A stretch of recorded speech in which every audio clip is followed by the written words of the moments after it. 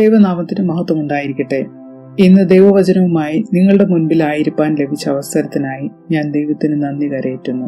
ഇന്നത്തെ ചിന്തയ്ക്കായി നിശ്ചയിച്ചിരിക്കുന്ന വേദഭാഗം വിസ്തമത്തായി മത്തായി എഴുതിയ സുവിശേഷം പതിനാലാം അധ്യായം ഇരുപത്തിരണ്ട് മുതൽ മുപ്പത്തി ആറ് വരെയുള്ള വാക്യങ്ങൾ. അതിലെ മുപ്പത്തൊന്നാമത്തെ വാക്യം നമുക്ക് വായിക്കാം. യേശു ഉടനെ കൈനീട്ടി അവനെ പിടിച്ചു. അല്പവിശ്വാസിയെ നീ എന്തിനു സംശയിച്ചു എന്ന് പറഞ്ഞു. നമുക്കൊരു നിമിഷം പ്രാർത്ഥിക്കാം. നല്ല ദൈവമായ കർത്താവെ അങ്ങ് നൽകിയ സകല അനുഗ്രഹത്തിനായിട്ടും നന്ദി നിറയേറ്റുന്നു. വചനം സംസാരിപ്പാൻ അടിയനെ സഹായിക്കണമേ. സകലവും നന്മയ്ക്കായി തീർക്കണമേ. ആമീൻ. വിസ്ത മത്തായുടെ സുവിശേഷം പതിനാലാം അധ്യായം ഇരുപത്തിരണ്ട് മുതൽ മുപ്പത്തി വരെയുള്ള ഭാഗത്തിൽ നമ്മുടെ കർത്താവ് വെള്ളത്തിന്മീതെ നടന്നതായി ഭാഗം വിവരിക്കുന്നു. ഈ സംഭവം വിശുദ്ധ മർക്കോസിന്റെ സുവിശേഷം ആറാം അധ്യായം നാൽപ്പത്തഞ്ച് മുതൽ അമ്പത്തിരണ്ട് വരെയും യോഹന്നാന്റെ സുവിശേഷം ആറാം അധ്യായം പതിനഞ്ച് മുതൽ ഇരുപത്തൊന്ന് വരെയുള്ള ഭാഗത്തിലും വിവരിക്കുന്നുണ്ട്. എങ്കിലും പത്രോസിനെ കടലിൽ താഴുന്നതിൽ നിന്നും പിടിച്ചു കയറ്റുന്നത് മത്തായുടെ സുവിശേഷത്തിൽ മാത്രമാണ് വിവരിക്കുന്നത്.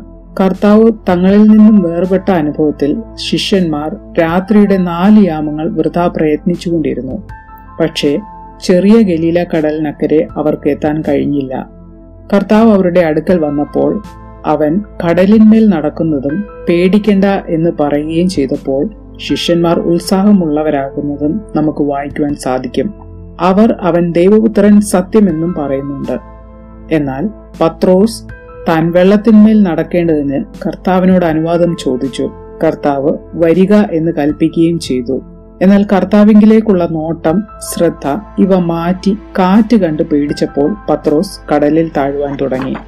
ഇവിടെ ചില കാര്യങ്ങളൊക്കെ സംഭവിച്ചു. ഒന്ന് ഭയന്ന ശിഷ്യർ അത് കർത്താവ് എന്ന് തിരിച്ചറിയുന്നു. രണ്ട് പത്രോസ് അപേക്ഷിക്കുന്നു. മൂന്ന് കർത്താവ് നൽകുന്നു.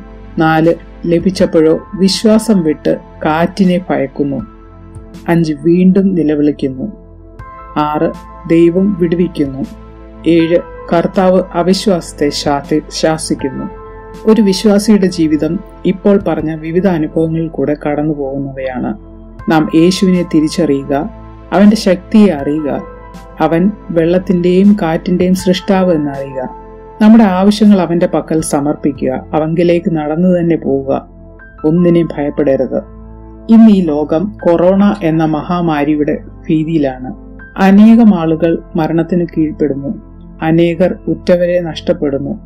എല്ലാവരും ഭയത്തിൽ ഓരോ നിമിഷവും ജീവിക്കുന്നു. എന്നാൽ ദൈവത്തിന്റെ വാഗ്ദത്വമാണ് അവന്റെ വാക്കാണ് ഭയപ്പെടേണ്ട എന്നുള്ളത്. പ്രാർത്ഥനയ്ക്ക് ഉത്തരം അവൻ നൽകുമെന്നുള്ളതും.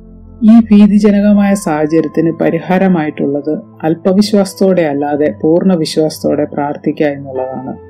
ഇന്നത്തെ സാഹചര്യത്തിൽ ആരാധനാലയങ്ങളുടെ വാതിലുകൾ അടയ്ക്കുമ്പോഴും കൂട്ടായ്മകൾ വിലക്കപ്പെടുമ്പോഴും നമ്മൾ നമ്മളെ തന്നെ ദൈവത്തിൽ സമർപ്പിച്ച് പൂർണ വിശ്വാസത്തോടെ വിടുതലിനു വേണ്ടി പ്രാർത്ഥിക്കുക.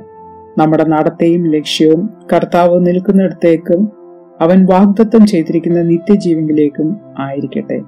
ഈ നോമ്പുകാലം പരിശുദ്ധാത്മാവ് അതിനെ നമ്മെ എല്ലാവരെയും സഹായിക്കുമാറാകട്ടെ എന്ന് പ്രാർത്ഥിച്ചുകൊണ്ട് ഞാൻ എന്റെ വാക്കുകൾ നിർത്തുന്നു.